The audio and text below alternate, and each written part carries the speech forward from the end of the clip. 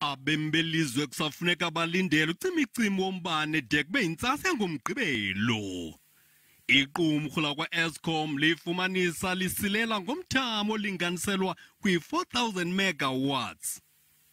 I-Eskom isebenzisa amashumi oomatshini bokuphehla umbane ngeenzame zokunciphisa uxinzelelo olubangela ucimicimi.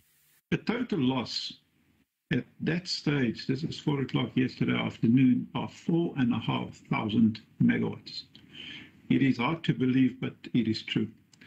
We therefore had to implement stage two load shedding at very short notice yesterday afternoon at, at five o'clock, and it's still ongoing. liyaqhuba nokujongana nomngeni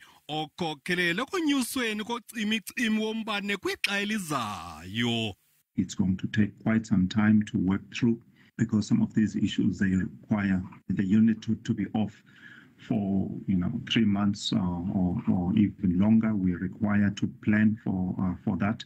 And also we need spares to buy spares upfront for for those.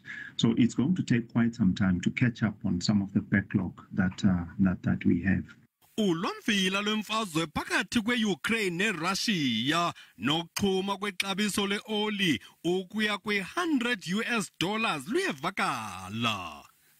U-Eskom uthi unoloyiko lokokuba oku kuza kuswantsulisa umbane weli lizwe. With the war in the Ukraine and, and Russia that we, we've all seen that oil and gas prices are escalating. Uh, that would still need to be factored in on our side.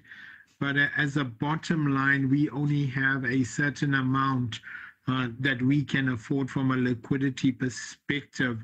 So this will put pressure eli qumrhu libethelele kokuba lifuna umthamo ongezelelweyo phakathi kwe-4000 ne-6000 megawatts ngaxeshanye liyaqhuba ixhala lokonyuka kwexabiso leoli ukuntingela kumaxabiso olanywayo kweli lizwe